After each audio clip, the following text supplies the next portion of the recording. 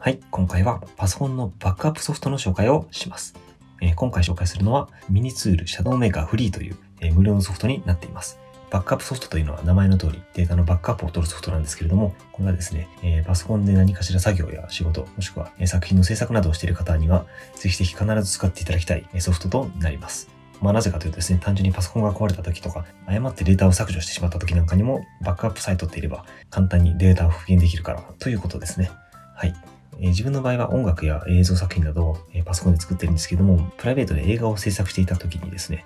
えーもう完成間近でパソコンがぶっ壊れてしまった時があったんですけども、まあ、そんな時でもバックアップさえ取っていれば、そんなに焦ることなくデータを復元することができるわけです。逆に言うと、まあそういう時にバックアップを取ってないと、それまでの制作時間が全て水の浜になってしまうという恐ろしいことになるわけですね。えーそんなわけでパソコンで作業や、えー制作をする全ての方に使っていただきたいのがバックアップソフトということになります。それでは早速使い方を解説していきます。まずミニツールシャドウメーカーを起動するとこのような画面が出てきます。ローカルとリモートというのがあるんですけれども、リモートの方は有料版でないと使えないので、今回はローカルという方を選択して接続をクリックします。それで少し待つと、今度はこのようなウィンドウが出てきます。で、真ん中にバックアップの設定という、えー緑色のボタンがあると思うんですけども、そちらをクリックすると、えーバックアップについて設定できる画面になります。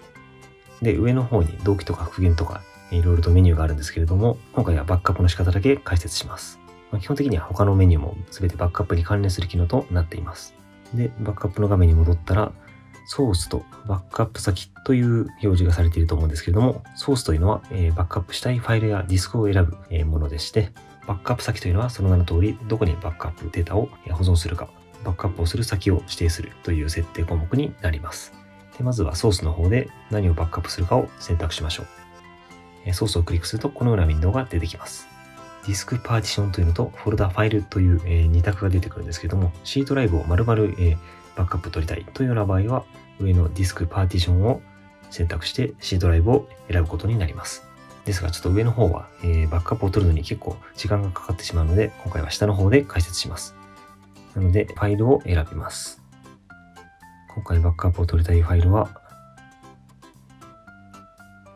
これにします。これはちょっと、えー画面キャプチャで撮った動画なんですけれども、この動画のバックアップを取りたいと思います。選択して OK を押したら、またこの画面に戻るので、次はバックアップ先を選択します。えーここで、えーバックアップ先で C ドライブと D ドライブが出てくるんですけども、基本的にバックアップというのは D ドライブ、ローカルの方のドライブにバックアップを取る必要があります。え C ドライブの方はパソコンが壊れた時に基本的にデータがなくなっちゃうんですけれども、D ドライブの方だとパソコンが壊れても救出できることが多いというのが理由になります。なので今回は D ドライブを選択します。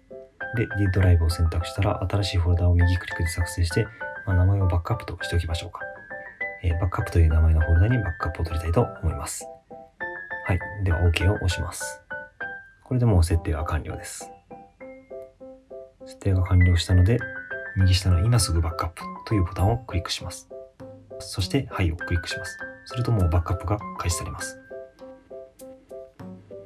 で、バックアップの進行度に応じて、この青色のゲージが、えーんと右の方に伸びていきます。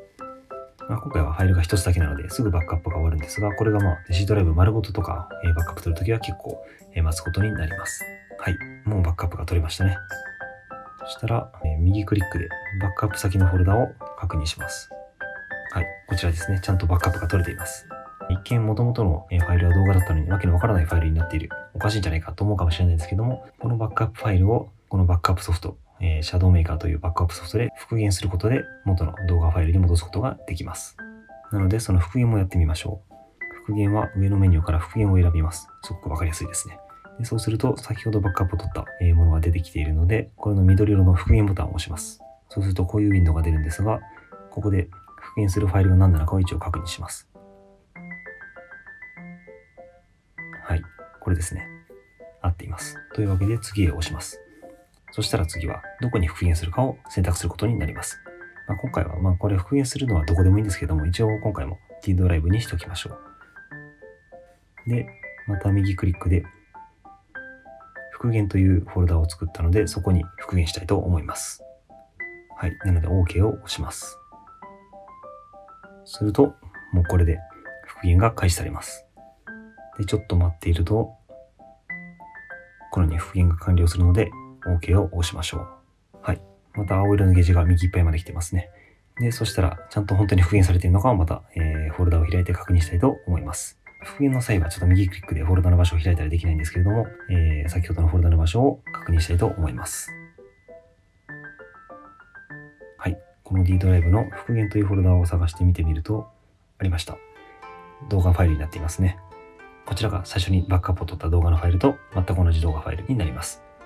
動画ファイルのバックアップから動画ファイルを復元したということになります。はい。こんな感じでですね、自分の作業したデータを、え、バックアップ取っておくことで、え、いざパソコンが壊れたとかデータが消えてしまったという時に、え、簡単に復元することができます。まあ、Windows に元から付いているバックアップのソフトもあるんですけども、結構使い方がよくわからないので、このフリーソフトを使うのがおすすめです。で、このソフトにはですね、他にもスケジュール機能なんかがあったりして、まあ、定期的に毎日バックアップを取りたいとか、毎週何曜日にバックアップを取りたいというようなことも設定できたりするので、定期的にバックアップを取りたい方はそちらの機能を使ってみてください。はい。というわけで、えー、無料で簡単にバックアップが取れるフリーソフトの紹介でした。それでは動画が良かったという方はチャンネル登録、高評価をよろしくお願いします。